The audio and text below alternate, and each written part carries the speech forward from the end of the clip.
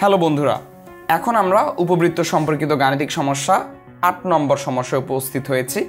তো এর আগে যে আমরা সাতটা সমস্যা সমাধান করেছি, আমরা চেষ্টা করেছি যে আমাদের বইয়ে যত প্রকার গাণিতিক সমস্যাই থাকুক না কেন, প্রত্যেকটির অন্তত একটি হলেও বা সম্ভব হলে আরও বেশি অর্থাৎ দুটি, তিনটি করেও উদাহরণ দিয়ে তোমাদেরকে বুঝিয়ে দেওয়ার জন্য যে এই সমস্যাগুলো কীভাবে আমরা সলভ করতে পারি। তো চলো শুরু করা যাক। এখানে আমাদের বলা হচ্ছে যে পি এর মান কত হলে X square by P plus Y square by twenty five equal to one উপবৃত্তটি six comma four বিন্দু দিয়ে অতিক্রম করবে এবং ওই উপবৃত্তের উৎকেন্দ্রিকতা ও উপকেন্দ্রের স্থানাঙ্ক নির্ণয় করতে হবে। তো খেয়াল করো, এইরকম একটি ম্যাথ কিন্তু আমরা এই সাত নাম্বারেই করে এসেছি, আমাদের সাত নাম্বার গাণিতিক সমস্যা, অর্থাৎ আগের ভিডিওতেই আমরা দেখে এসেছি। তো এখানে কি বলা হচ্ছে? আগের ভিডিওতে শুধুমাত্র পি এর মান বের করতে বলা হয়েছে, আর কিছু চাওয়া হয়নি। বাট এখানে কিন্তু শুধু পি এর মানের কথা বলেনি। এখানে কিন্তু আমাদের এই উপবৃত্তের উৎকেন্দ্রিকতা ও উপকেন্দ্রের স্থানাঙ্কটাও নির্ণয় করতে হবে। অর্থাৎ যে এই পি এর জায়গায় আমাদের একটি যে মান চলে আসবে, সেটি বসানোর পর যে আমরা উপবৃত্তের সমীকরণটি পাবো। সেখান থেকে উৎকেন্দ্রিকতা ও উপকেন্দ্রের মান আমরা নির্ণয় করব।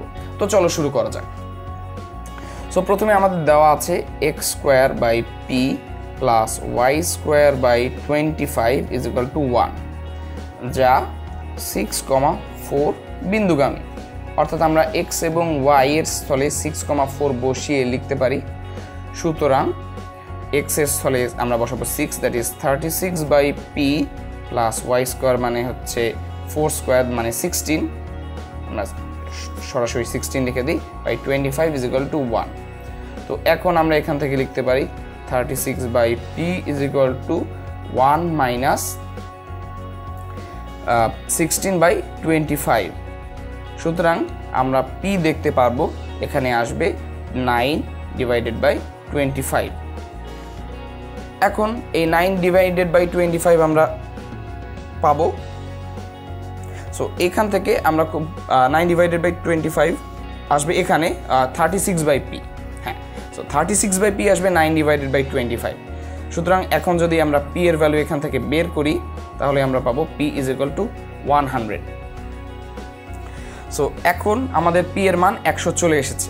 পি এর মান যদি একশো আমি আমার সমীকরণে বসিয়ে দিই, অর্থাৎ এই সমীকরণে যদি পি এর মান একশো বসাই, তাহলে পাবো এক্স স্কোয়ার একশো মানে কি? টেন স্কোয়ার অর্থাৎ আমরা লিখতে পারি X square by ten square plus Y square by twenty five দেওয়া আছে মানে five square is equal to one এটি আমাদের সেই উপবৃত্তের সমীকরণ।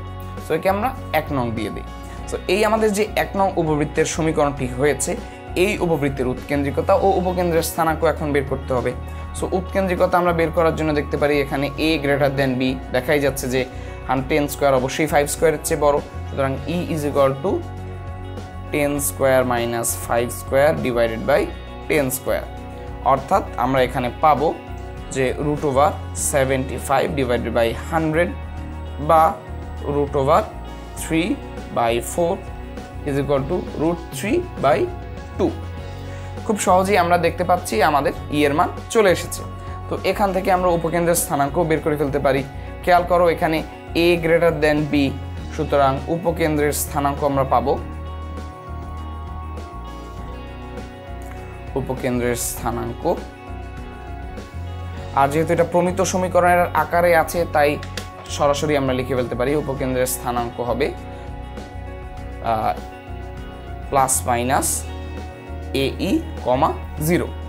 So a ইর স্থলে আমরা যদি এখন মান বসিয়ে দিই, বা প্লাস মাইনাস এ এর ভ্যালু হচ্ছে আমাদের টেন। টেন ইন্টু ই এর ভ্যালু হচ্ছে root three by two comma zero, বা উপকেন্দ্রের স্থানাঙ্ক আমরা পেয়ে যাব plus minus five root three comma zero এটাই হচ্ছে আমাদের কাঙ্ক্ষিত উপকেন্দ্রের স্থানাঙ্কের মান। তো এভাবে করে আমরা এ ধরনের সব সমস্যা ভবিষ্যতে আমরা যাই পাবো। খুব সহজেই অত্যন্ত দ্রুত আমরা সলভ করে ফেলব। তবে অবশ্যই খেয়াল রাখবে যে গাণিতিক সমস্যার সমাধান দ্রুত করার জন্য প্র্যাকটিসের কোনো বিকল্প নেই আসলে। সুতরাং এই অঙ্কগুলো শুধু দেখে গেলেই চলবে না, তোমাদেরকে নিজেদেরও একটু প্র্যাকটিস করতে হবে। তাহলে দেখবে খুব সহজেই এই কনিক রিলেটেড চ্যাপ্টারের যত প্রশ্নই থাকুক না কেন, তুমি খুব দ্রুত দক্ষতার সাথে উত্তর করতে পারছ।